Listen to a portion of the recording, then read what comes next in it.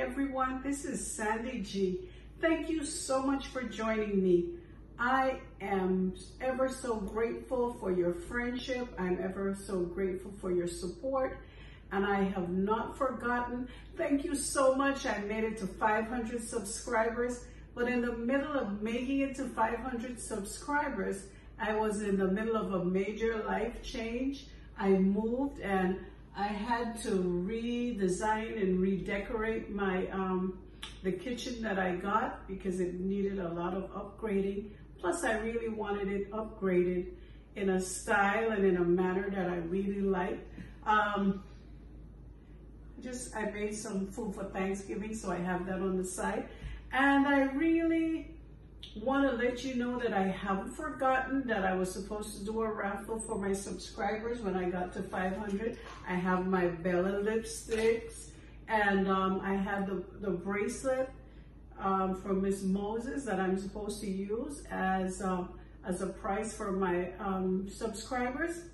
And I will be getting to that pretty soon. I'm almost at the place where I want to be in terms of my um, getting my place ready. But hey, the stove is working, the refrigerator is in, and I'm ready to roll. So you will start to see me more often. Have a wonderful day. And for a lot of you subscribers, I know you might be going through a difficult time. I still want you to, make sure you're taking care of your health.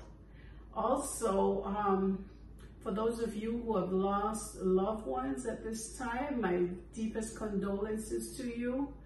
And I know, I know how difficult it is to lose someone that you love.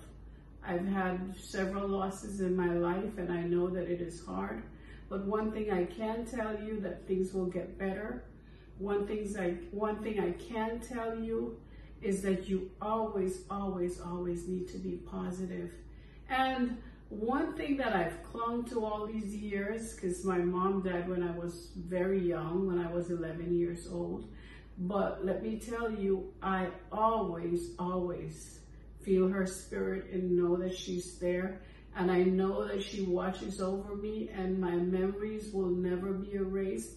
So those of you that are having a hard time because you've lost loved ones, know that they're there and their spirit is there with you. Know that you have to be positive and you have to push forward because when you do that, it's a part of them living on with you.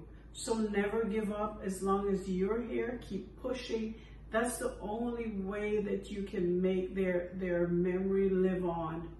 And so I, um, I want to sympathize for, with those of you who are going through that. And even for 2020, it has been a difficult year for a lot of people. I mean it, but stay positive. We're almost at the end of this year. Just keep pushing through and we'll uh, we'll get together during the holiday season. I want to share, I probably will be sharing an eggnog recipe so that you can um, have something to, to enjoy over the holidays. But once again, I want to say it's awesome being back and thank you so much for sticking out with me.